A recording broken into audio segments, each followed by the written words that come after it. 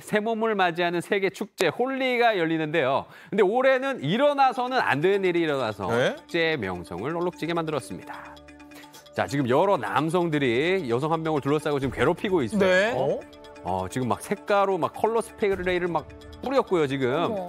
지금 강제로 막 몸을 막 끌어당기고 지금 너무 괴롭히고 있죠. 여성이 웅크리면서 막 피하려고 해도 지금 소용이 없습니다. 네네.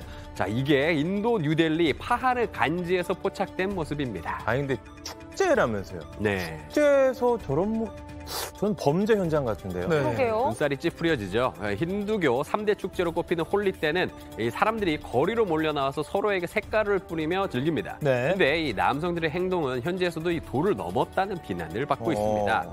이 막 달걀까지 던지고 그랬다 그래요. 아니 여성이 싫어하는 게 딱 보이잖아요. 네. 그럼 그만해야죠. 그러니까요. 근데 알고 보니까 이 여성 일본인 관광객이었다고 음. 합니다. 이 파르간지는 원래 여행자의 거리로 불릴 만큼 평소에도 외국인 관광객이 많이 찾는 곳입니다. 이 영상이 널리 퍼지면서 여론 반응이 심상치 않게 돌아가자 경찰이 남성 세명을 긴급 체포했다고 합니다. 우리 여행객들도 많았으면 걱정인데 저 피해 입은 저 일본인 여성은 괜찮은가요?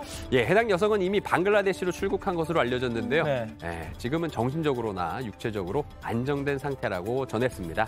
자, 이번 사건에 대해서 또 유감이라고도 말했네요. 네.